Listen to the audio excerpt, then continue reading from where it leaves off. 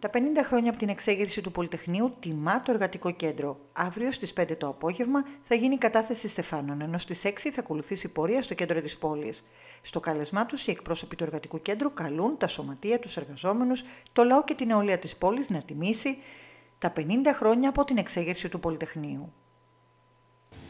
Τιμούμε αγωνιστικά τα 50 χρόνια από την εξέγερση του Πολυτεχνείου. Παρασκευή 17 Νοέμβρη στις 5 το απόγευμα θα γίνει η κατάθεση Στεφάνων, στις 6 το απόγευμα η αντιεμπειρελιστική πορεία στο Μνημείο των Ηρώων Πολυτεχνείου στη Δόμπολη.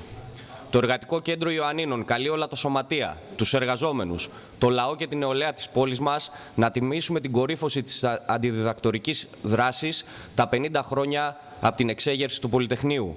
Οι αγωνιστικές παρακαταθήκες του λαού και της νεολαίας στην εξέγερση του Πολυτεχνείου τον Νοέμβρη του 1973 ενάντια στην Απριλιανή δικτατορία με τη στήριξη των ΗΠΑ και του ΝΑΤΟ, αλλά και η αταλάντευτη στάση των αγωνιστών του αντιδιδακτορικού αγώνα στις φυλακές, στις εξορίες και στα βασανιστήρια στρώνουν το έδαφος της σημερινής δράσης, του σύγχρονου ηρωισμού, του διεκδικητικού αγώνα. 50 χρόνια μετά το Νοέμβριο του 1973 η θέση όλων μας είναι στο δρόμο του αγώνα, γιατί εκεί γράφεται η ιστορία.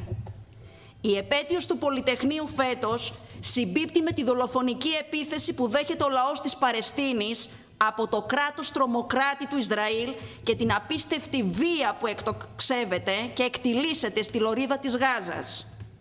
Ακόμη και αυτή τη στιγμή δολοφονούν ψυχρό μικρά παιδιά, ακόμη και στις θερμοκοιτίδες.